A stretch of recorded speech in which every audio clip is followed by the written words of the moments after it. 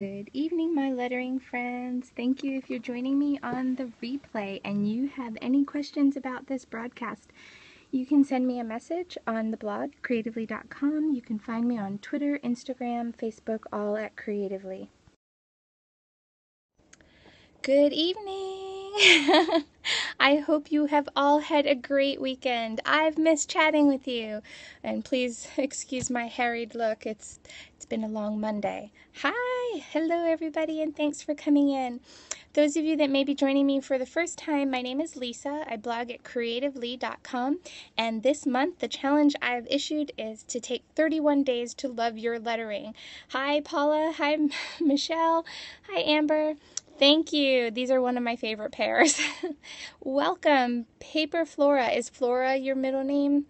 Or, I mean, your first name, sorry. Hello. Thank you. Lots of cookies and more to come. So glad. oh, great. Yes, we've got some bakers that watch along with us, which is awesome. Um, hello, Debbie.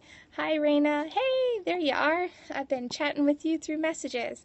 So hopefully I'll get to lots of the questions that came from today's lesson. I know that we're now switching pens. We've gone from a regular uh, black pen or ballpoint pen, whichever one you are most comfortably comfortable. Oh, you're Natalie. Very nice to meet you, Natalie. Hi, Fran. Hello, South Carolina. Um, I'm heading to North Carolina this weekend.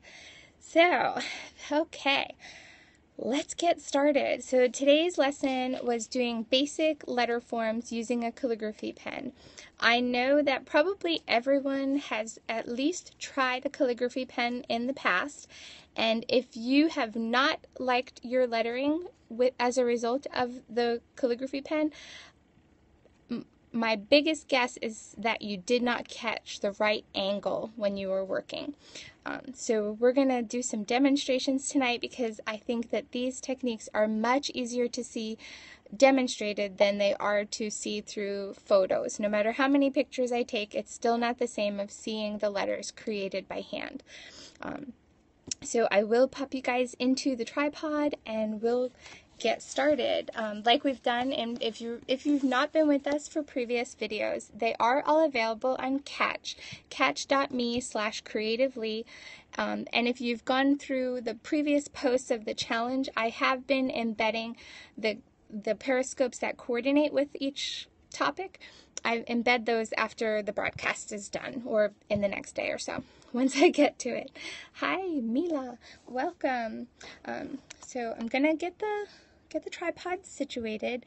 And also, for those of you that may not have a calligraphy pen, I'm also going to show you how to tape two pencils together to practice these techniques. All right. So, um, those of you that have been with me since the beginning of October, this is actually a cleaned off desk, believe it or not. so, once I get you guys in the tripod, sometimes it's hard for me to keep up with. Um, so here's my notebook, and this is the one that's been photographed for the samples. Um, and we'll talk about the different strokes. The downstroke, this was using the pen as a slanted pen, and then we talk about the straight also. Um, so I'm going to move that out of the way. I'm glad you're here too, Elisa, or Eliza. Okay, let's get you guys angled correctly so you can see what I'm doing. Alright, I still have not tried out my new tripod um, because I've gotten used to this little desktop one. So hopefully we just will make it work, right? Alright, so I've just got graph paper in front of me um, because it's easier for me to flip through these with you guys. Alright, so before I get started with the calligraphy pen, I'm going to show you, um, no, this is not my new one. I have not tried it. I'm going to try it during the day, maybe tomorrow, because I have I have some paintings to do. So maybe I'll I'll test out the new one with that. Okay. So if you do not have a calligraphy pen and you want to practice this technique, here is an easy way to get started with what you already have in the house. These are just two number two pencils that have been sharpened and I've got my handy dandy washi tape. so what I'm going to do is just hold the two pencils together and tape them. So the idea is to get both points together and then just wrap, wrap, wrap.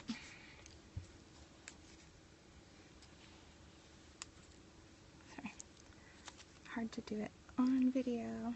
There we go. And I'm going to do another set of wraps at the back.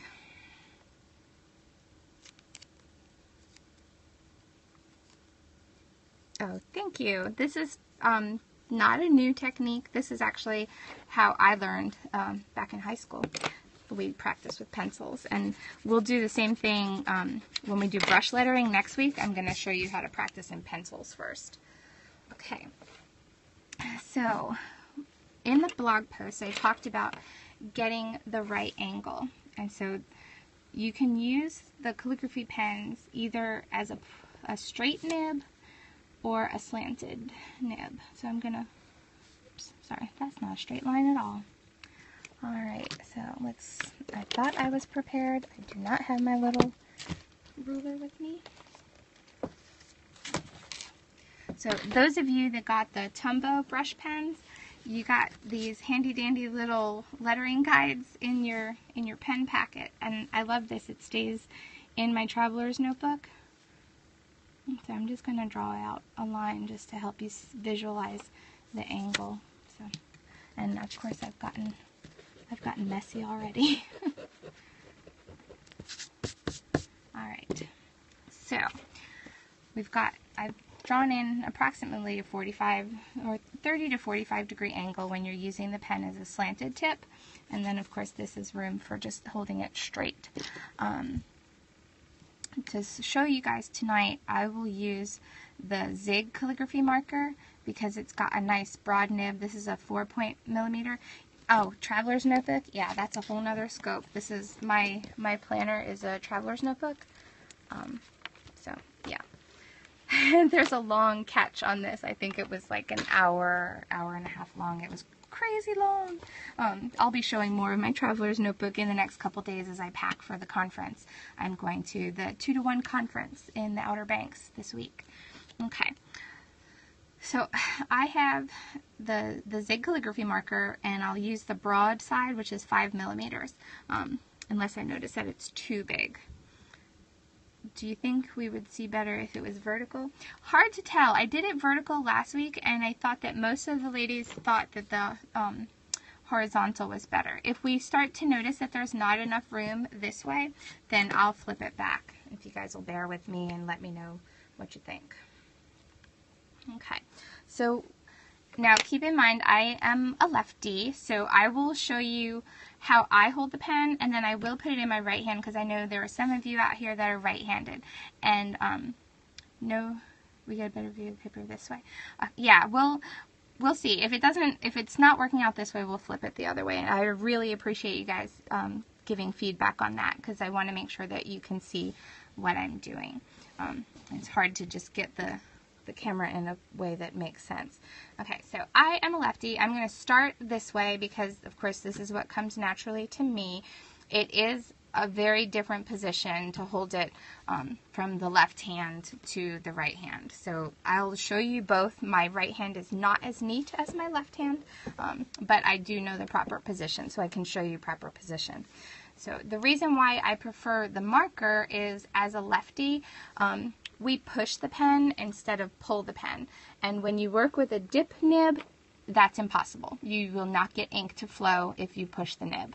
Um, so the marker gives a lot more freedom and forgiveness, especially when learning these techniques. Um, in order to use a dip calligraphy nib, I would have to hold the paper um, at a completely different orientation, which I, I know how to do. And those of you that want to learn that, maybe that can be another little mini series later on. But for now, we're just talking about experimenting with creative lettering after um, getting to know our, our own handwriting better and just refining that. So to hold the pen at an angle, you want this flat nib to fall at the angle. And when you're writing with it as a slanted pen, you're going to just move your hand and your arm. You're not going to allow the pen to twist in your hand. Um, to start with, I would say either 3 millimeter, 2 millimeter, 2, um, 2.5. Those are a little bit better because then you can work kind of small. Um, I, I did mention at the beginning of today's blog post how to figure out the size um, that you're working at, and the size that you work at is all dependent on the, the size of the nib. Sorry, we're going to kind of skip around. And so what I meant by that is you're going to determine the size by the nib height. Um, what you would do is you make this little pattern, and this is not the neatest, um, but this little checkerboard actually determines the size that you'll work at. Um, five nibs high is common for the X height, which would be your lowercase letters, and about seven to seven and a half would be your cap height, your capital letters. Um, and now if you had an ascender or a descender, they would be the same length as your X height. So let's see, if I had a G, let's see, one, two, three, four, five is almost four high. Um, so now we didn't do letters today. We were just doing strokes, but I just wanted to show you what I mean by um, these different heights. So like a G, you would make the descender the same length as your X height. And like the same thing if you were doing a K, your ascender would be the same height as your your um, your X, your X height, which kind of hits the waist. That would be like what we talked about: the waistline, the baseline, and the cap height. Okay, so but we did not do letters today because before you get to letters, you have to learn the basic strokes. Um, so again, this was slanted, and all you're doing is practicing keeping the pen still. So I'm not going to twist my fingers. I'm going to move my hand and arm. This pen, I honestly have had it for a while, um, so I may have gotten it at Michael's. I'm not 100% sure. Um, I know that Michael's carries these, which are from Speedball. Um, I just like the double point because, oh, Target, there you go. That's probably exactly where I got it. Um, okay, so the slanted nib, you want that same angle at the top of the line and the bottom of the line. So you're not gonna you're not gonna curve this around. That would be wrong. you're just gonna keep the pen in the same position and go down. If you were right-handed, it will be a little bit easier because you're actually pulling the pen down. Okay. Oh, and I've lost focus. There we go.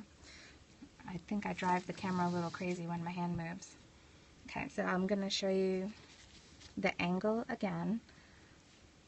So the pen actually stays in the same position. It does not move in your fingers. It's your hand and your arm that do the movement. So you can see the angle is there on both sides. So that's the slanted. So I'll show you lefty one more time. I work from above um, it's what's most comfortable for me. And so you see that, oh, a little bit of a goof there. So it's just keeping that same angle. So you're remembering to not twist the pen in your hand, but move your arm or your hand. So do you want to see the the slanted strokes before we talk about straight nib? Put up some hearts if you want to see the strokes with it. Okay, so the first thing we practiced, there you go, thanks guys, um, was the straight downstroke. So this is, you know, going to be your stem for a lot of letters. Is this about the angle of the pen to the surface? Um, not exactly, because it, you may find a different, like, because a, a righty will hold it down, it's about getting the position of that flat nib, that angle. So if you've got, you know, your up and across your X and Y axis, um, the pen is going to go like kind of right in the middle there, you know, be, like 40, I say 45 to 30 degree angle is what's going to give you the best look. Um, sometimes it's harder to see that with the big, the broad nib. Um, yes. And once you catch that angle, you want to make sure not to rotate out of that angle. You want to keep a consistent angle through the entire letter. So you're going to change your arm or your hand position, not the pen. Um, no, kind of like everything else, you don't want to have too much pressure. The only time we're going to talk about varying your pressure is when we do brush lettering. Then it's going to be very important to change the pressure. Um, but for these types, you really just want to get a comfortable position. Yeah, the no, the brush you are going to change pressure, um, but we're not going to get that to that until next week. Um, so again, just going for the brush, you do change hand position too a little bit. Lefty and hold your hand like right-handed so you pull. So you hook. Okay. Your Zig pens have a slanted nib. All right. None of mine do. Let's see. I may have... Okay. So this is not a calligraphy pen, but it is a chiseled tip. Um, the only thing that that would change would be my hand position because I'm going to be able to get that 45 degree angle with the pen right here. So this is kind of light, so I don't know that you'll be able to see that well. The Recollections one, I was just at Michael's today and I was looking to see what kind of calligraphy pens that they had so I could get them to sample for you guys. Um, but I didn't see calligraphy pens except for the speedball ones and the um, the ink and metal ones. So yeah, so if I'm using a chisel tip, I'm holding, let's see, my hand position is here. If I'm using just a flat nib, then my hand is actually back a little bit. I don't know, was that difference obvious? Is the felt better or the nylon? I don't know. I've been experimenting. I have the nylon tips. The Sakura pens have a nylon nib.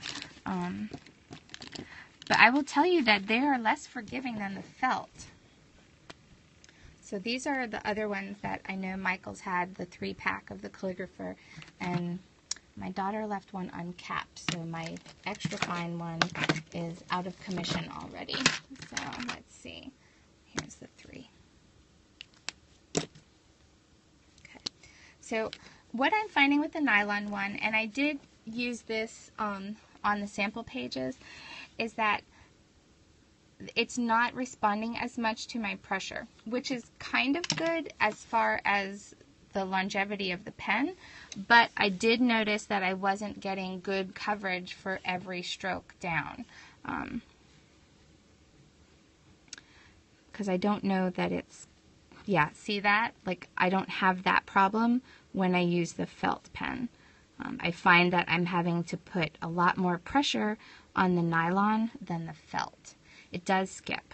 Um, and I don't know if I'll be able to get it to focus, but I find that it's not perfectly straight. Um, and it could just be this pen, or it could just be me. Um, but I do find that I have to work harder to make sure that um, it consistently touches the paper where the felt is a little more giving. Let's see, there's a three point. Okay, so that was the downstroke. Yeah, I don't, I don't know. Like I said, I'm continuing to play because there's sometimes where I look for a rough, a rougher look, and I kind of like that.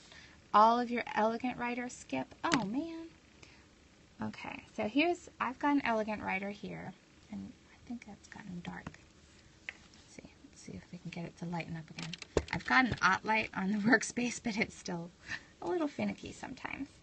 Okay, so this is the Elegant Writer. This is considered their broad, and it's a 3.0 millimeter. Um, so, let's see. I don't want to improperly use the pens and right on the edge. Okay, so this was the downstroke. So the downstroke is going to be very broad. Today's lesson really stumped you, Heather? Okay. yeah, I definitely find that I'm using a lot more pressure with the nylon nib, but it could just be that it's just an unfamiliar pen to me, um, which is could very well be the case. So another stroke that we practiced was, and I'm going to open my notebook so that I can, don't lead you astray. so if you notice, we repeated a lot of the same shapes and movements that we had um, in the handwriting lettering forms. Okay, so we went from just a downstroke to a downstroke that started with a header. So the same pen angle, but you're kind of going up first and then down. And I'm skipping. So this is the Elegant Writer. Watch, it's going to probably skip for me. Um, see, the felt tips are not quite as fine of, of the angle. Your pens are old and still working. Yeah, I did, I have, um, this is one of those things that it does take a lot of practice to get the consistency down um, because it is such a different motion than allowing the pen to kind of move around in your hand. So this takes a bit of discipline to keep that pen in the same position and to learn how to just move your hand and or your arm.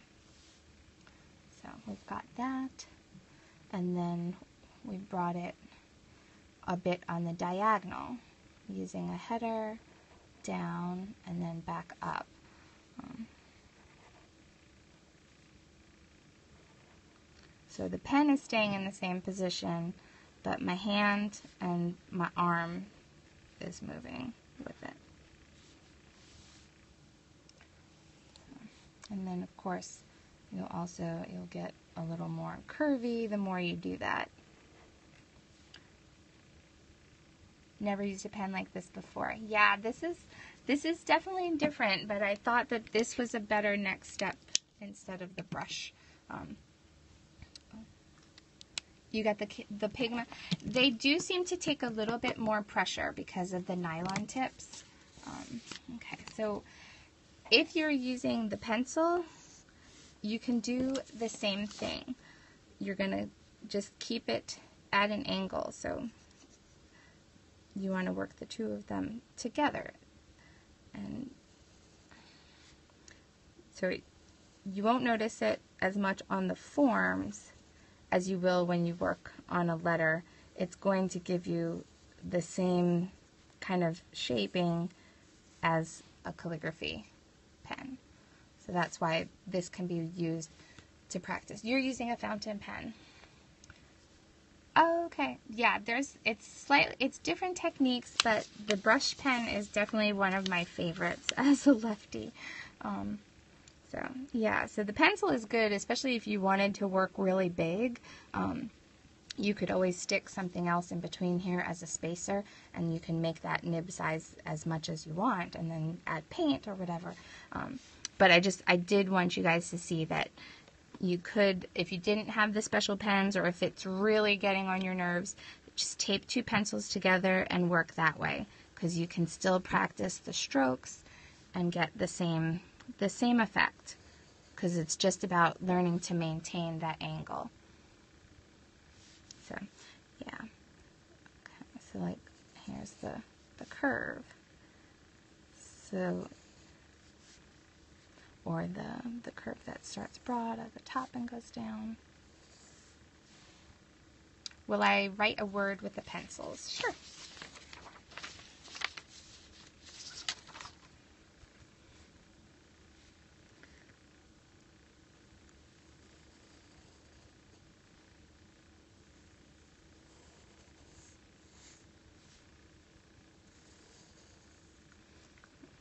Sometimes I can't talk and write at the same time.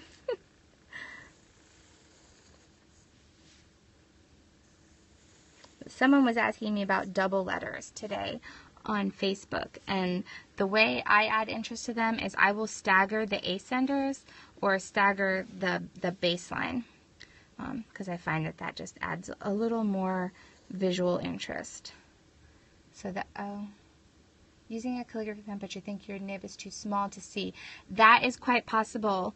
Um, I think the one point, the one millimeter ones are a little small and you might not notice the difference on those. Um, see, I'm, I've got one pencil is down a little bit further than the other.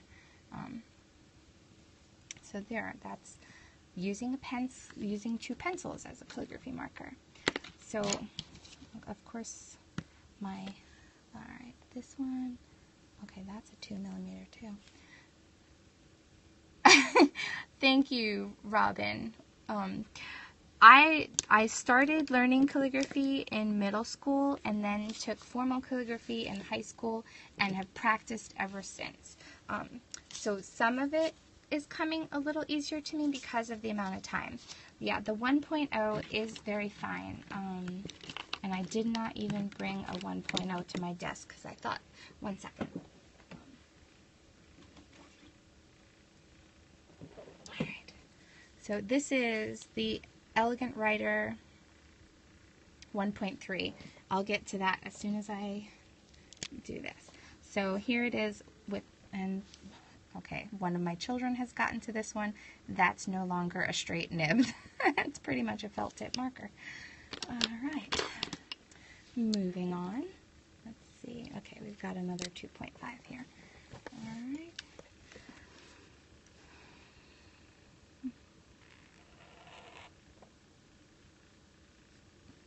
Oh, that's awesome. I like to see kids practice too.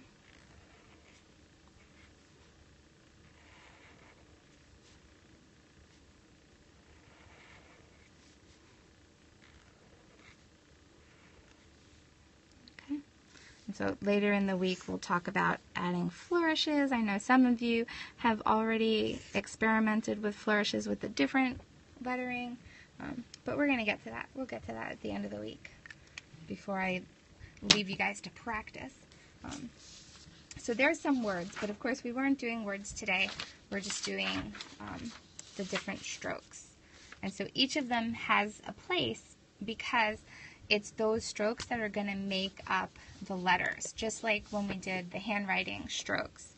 Yeah, I know everybody's looking forward to flourishes, but you've got to get the basics down to understand how flourishes work. And that's why we need to get um, does the stroke direction affect the look of the calligraphy? Yes. Um, getting those angles right is going to be key to getting calligraphy that you like looking at. Um, because if you're at the wrong angle, you're going to lose that thick and thin. Similar to when we did the faux calligraphy last week, it's really important to get the contrast of the thick and thin. Um, yeah, sweet swirls. It's pretty. It's each lesson is usually pretty short. Of course, the ones where I introduce a new technique usually take a little bit longer to get the hang of, but that's why they're just repetitive movements to, to get those basics down. And so let's do a couple other strokes. So this was down with an end. So, and none of them are for nothing. Every stroke has has a purpose. Um, it might be a different letter that we're working on. Hi, Kimmy, and welcome. So just practicing these fragments will help you later on in the week as you do different um, exercises. The upstroke is going to be a thin diagonal because the pen angle is not going to change. You're going to change the position or the movement of your hand. Um, so let's see, let's do some curves. Does the size of the pen go up in number? Yes, a 3.0 is bigger than a 2.0. So these are the top curves. So if you think of your upstrokes are going to be thinner, your downstrokes are going to be broader. So inverse that, and you're going to get this look.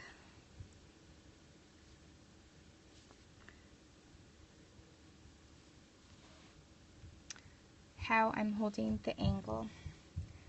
Hmm. See. So I hold, let's see if I go this way, is it easier to see that? Um, it's coming out so dark. It's funny because, like I said, I've got an OttLite right on it. Um, okay. so I, and my little one is still awake, goodness, um, of the pen for right-handed. Oh, yes, yes, yes, yes. So if you were right-handed,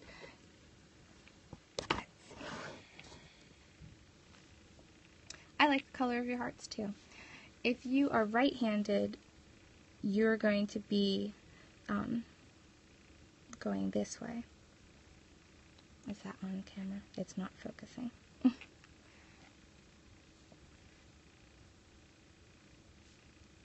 it takes a lot more concentration for me to do this right-handed. Um, does that does that help at all for the right-handeds out there? So your upstrokes are going to be like that. So, um, let's see. Is that angle better? Let's see. A live lesson. I know. Stephanie, I'm going to get some of the girls that are attending the 2 to 1 conference with me to write with me so that I can show you guys, especially you right-handeds that need to see it done by a right-handed person. Okay, so hopefully that helps a little bit. Are you able to see that? It is very hard to describe this in a blog post. I mean, I can take a bunch of pictures, but then it will take me forever and a day to edit the photos because it's annoying. it's much easier to show in video, but even better to show live. So anybody who's in Maryland that wants to come for a lettering workshop will have to do that. Mm, so let's see, we'll do some more strokes. Thank you, I'm trying. so this would be the down curve. I love Periscope too. Periscope has been wonderful for me. It has connected me to so many of you. Okay. Apparently I need to practice with my right-handed more. I should come to Alabama. Oh, that would be awesome. Maybe someday. Alright, so how's that? Does that help for showing you both the left-handeds and the right-handeds? The slanted nib? Um, was there any other stroke that you needed to see? I think I got all of them. So this was the, the header, the diagonal, and the footer. Fountain pens and dip pen questions when we have time. Excellent. If you send them, send me questions in um, on Facebook or Twitter or even on Instagram. And if if I if it makes sense for me to incorporate it in this series, I'll try to. I wasn't gonna go into the dip pens just because that's a whole nother expense and stuff. And I was trying to keep these things, um, these techniques that you could do with with items you might already have in the house or that were very easy to find. Um, okay, so let's. Well, thank you, Amanda. Um, okay, so now you almost have to hold the pen at a 90 degree angle. It's a straight nib. Okay. Yeah. So I'm holding, yeah, I'm holding the pen almost straight up and down most of the time when I'm working um, with the calligraphy nib. It changes a little bit when I work with brush, um, and it's it's still different when I hold a pencil or when I hold a ballpoint. My hand position changes depending on the tool that I'm using. Okay, so those were all the slanted, slanted um, tip. You're going to Michael's and sending messages. Okay, do that. I will. I will do my best to answer in a timely manner. Um, so another way to use a calligraphy pen is to use it as a straight pen. And so this one, I'm actually curving my hand a little bit so that I can make sure that the nib is straight to the line and I just push that way into the paper. Um, and so you're letting the whole thing fall flat. Okay, thank you. It will be, I'll have it up on Katch. Um, you want that whole point to touch your baseline. This is not a very narrow nib. Um, sorry hunting for a pen that'll show a little bit better for you guys. And I lost focus again. Holy cow. Okay, my children have been playing with my calligraphy markers. Hmm. Okay. I think this is the one I just put down. Sorry about this, guys. Thanks for hanging with me. Okay, so more straight strokes. We went um, with a header and down.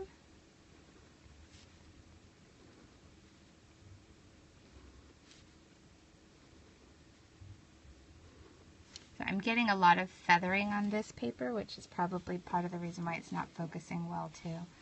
Um, okay, and then we're going to go diagonal down. So this is a completely different angle of the pen. So, and diagonals are a little tricky because you're really moving your whole arm. Yes, we spend a lot of time sharpening too. We need to get a new sharpener. this is the um, Pigma calligrapher by um, sorry Sakura. So I've been trying to cycle through different pens so that you guys get to see um, the differences between them because I have a tiny pen collection. So then we've got the header and the footer. And this is a really juicy pen and it's feathering a lot on the paper. Means this is nylon tip. Okay, so then your up stroke is going to be not as narrow as if the pen was at an angle. Oh, I'm sorry the connection's not being nice. So let's see, the same stroke. I did not practice this one right-handed. Oh, that does not want to work at all.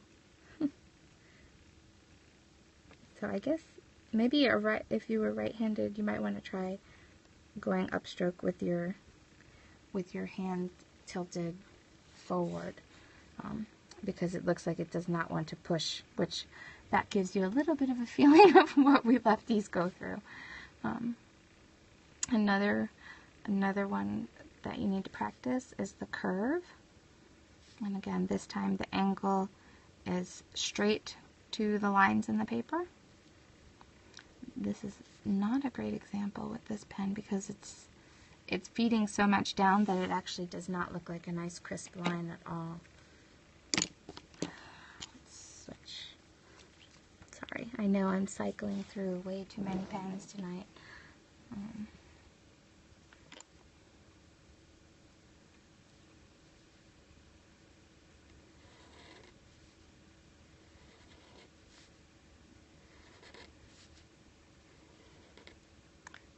that one, and then curving in the opposite direction too.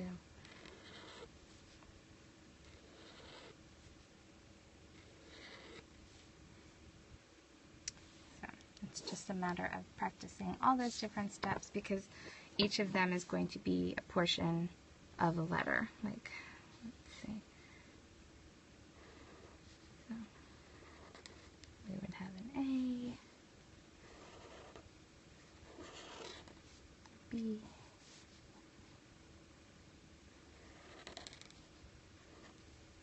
see. So why we want to do all the different strokes. Just discover that you have a set of five Staedtler dual tip calligraphy pens. Who knew? I like the Staedtler. Um, I that was actually the first marker that I learned to do calligraphy with was a Staedtler dual tip. Um, so yes, I do have a fondness for Staedtler. I use their fine tip pens too for my Bible journaling. Um, let's see. So if you had if you had a chisel point, and of course this is green, um, if you had a chisel point, your the angle of your hand may change, but the idea is still to keep the tip of the pen parallel to the line. 40 coupon in the paper. Yes, I went today and used a 50% off coupon on a pen, and then they also gave me 30% off my whole purchase. So I was able to get some t-shirt paint that I needed and a new pen for $3 and change. Mm. So if you have a chisel tip pen, you can still use that. It's just going to change the position of your hand. Yeah, so for you pen snobs like me, this is the one that I got today. It's the Pentel sign pen because I was looking for another fine tip pen.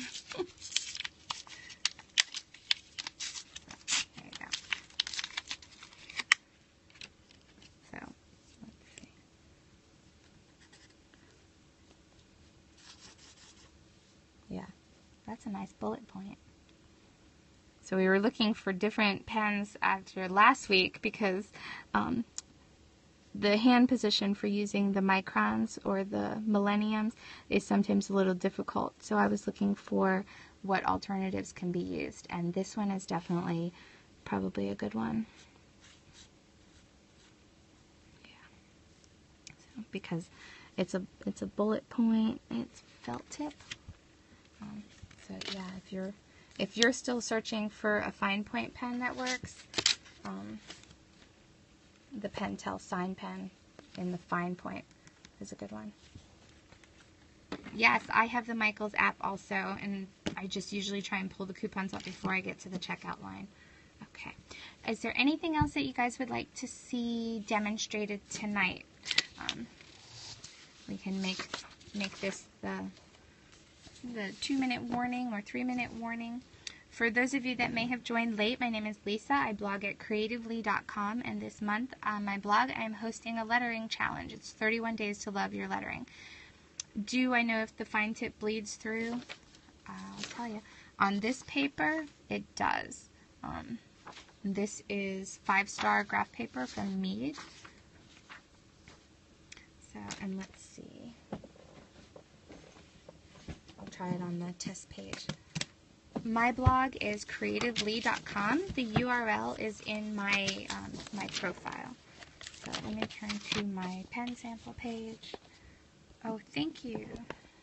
Okay, so let's see. This is the new, this is, and I like to make sure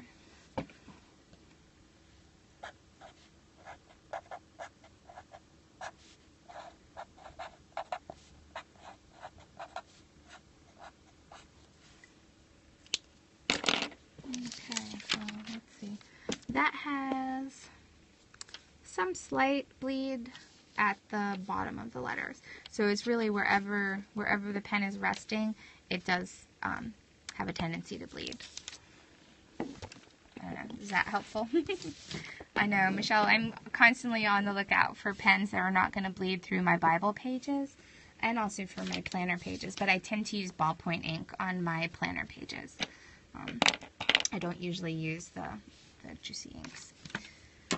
Okay, any other questions for tonight before I sign off? I do try and keep these scopes at a somewhat reasonable timeline because I know that your time is valuable and it is kind of late for those on the East Coast. Yes, Joanne's, um, Joann's and Michael's and all those coupons usually work at each other's stores. Hobby Lobby, I think, is a little more proprietary about their coupons.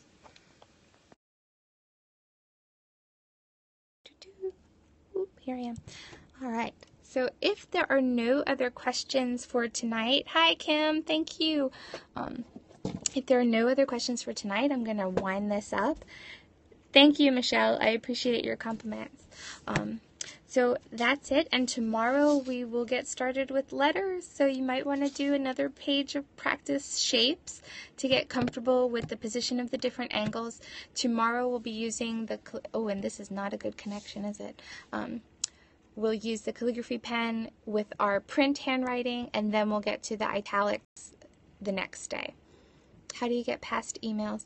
Um, the emails are actually just an excerpt from the daily blog post. So if you go to the index page of the challenge, which is linked to the bottom picture on the blog post, you'll have the index of all the posts so far. Those that get them in the email, they just get a little excerpt and then they have to click over to the blog for the for the rest of the post um, and all the pictures because the pictures don't come in the email. But thank you, thank you so much. I really appreciate you guys being here for all the love you guys have been showing both here on Periscope and on Instagram. I love when you guys tag me on your pages. It's really been a blessing to look through the work that you guys are doing. You guys are doing lots of practice. I saw that everybody practiced quotes and different lettering inspiration this weekend. And each weekend, we're going to have that same assignment. And hopefully, the emails will go out on time, which I'm still working on that. That's not always happening. But I need to get things set up. I am headed out to the 2 to 1 conference this weekend. I travel on Thursday, um, so I'll be gone through Sunday. I'm going to scope during it. I am not certain on the time yet. I will know more as the my travel time gets a little closer. I know that Friday night scope will not be at 10:30 because there is a conference event at the same time. And so we'll try and work that out so I can check in with you guys, especially because Friday I believe is when we'll talk flourishes and I know that you guys are going to want to see that demonstrated more. So we will work on that. I may have to just squeeze in some time on Saturday instead of the normal Friday night. We'll but we'll hammer that out throughout the week. You guys can be a help for me deciding on what time works the best for the most of us. Um, but until tomorrow, I will see you later and I'll get tomorrow's blog post up and hopefully it will come out to you a little bit earlier in the day. I'm working on that. Thank you for your patience and for your encouragement. Thank you for all the shares and the love. I truly appreciate you. You sent me a message through the blog. Excellent. I I have a good chance of responding to that pretty quickly. Facebook has been a little bit slower because I'm not getting the notifications like I used to. Um, but I'll work that out and I'll talk to other bloggers this weekend to figure out how to best uh, handle that because um, I definitely want to respond to you guys in a timely manner. But if there's anything that you guys want to see in the periscopes, be sure to send me messages during the day um, because that that's it's a good way for me to get it worked into the nightly broadcast if that is if it's especially if it's related to the day's lesson. Um, but that's it. I'm going to sign off for tonight. I will see you all tomorrow. Thanks. Have a great night.